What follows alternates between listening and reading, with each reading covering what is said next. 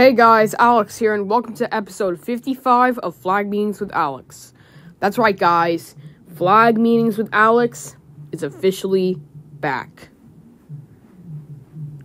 with episode 55 of the series. So, yeah, let's get the comeback over with. We are taking a.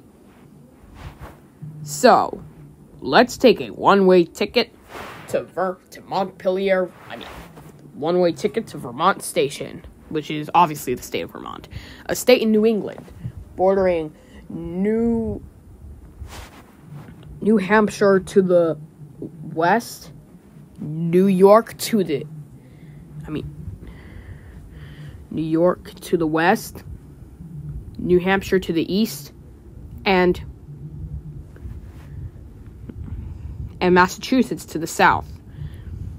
Obviously, they have a blue background, which also inspires other states.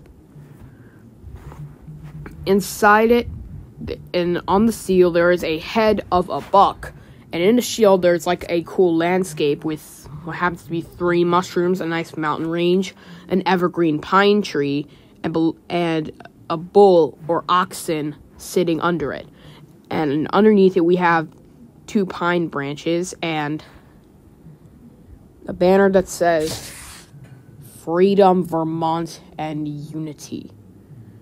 Really? But anyway further information about vermont is that its capital is montpelier and it is located in the northeast region Thank you so much for watching this episode of Flag Meanings with Alex.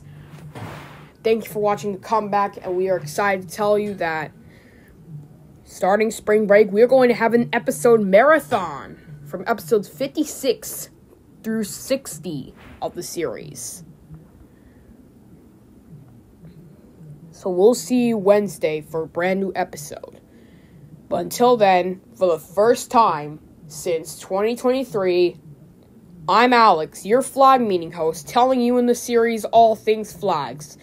I'm Alex, and I'll see you all next time on Flag Meanings with Alex. Peace out, y'all.